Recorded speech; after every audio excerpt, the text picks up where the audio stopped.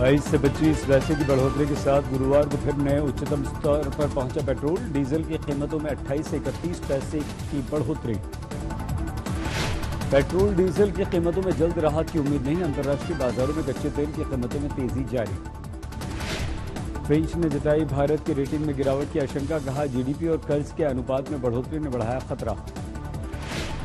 भारतीय रेलवे ने economy class के लिए पहला एसी थ्री टीयर कोच उतारा। मौजूदा एसी थ्री टीयर और नॉन एसी स्लीपर के बीच होगा किराया। गर्मियों में बढ़ सकता हवाई किराया। केंद्रीय मंत्री हरदीप सिंह पुरी ने किराए पर लगी सीमा के हटने के दिए संकेत। भारत में चीनी ऐप्स की हिस्सेदारी घटी। इंस्टॉलेशन के मामले में देसी ऐप्स का दबदबा बढ़ा।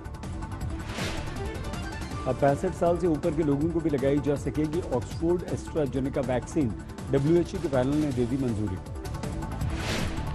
एसबीआई के होम लोन की दर महज 6.8 प्रतिशत हुई। मार्च तक ग्राहकों को नहीं देनी होगी प्रोसेसिंग फ़ीस मास्टरकार्ड के ग्राहक क्रिप्टो क्रिप्टो करेंसी में कर सकेंगे लेन देन कंपनी कार्ड धारकों को जल्द देगी मंजूरी।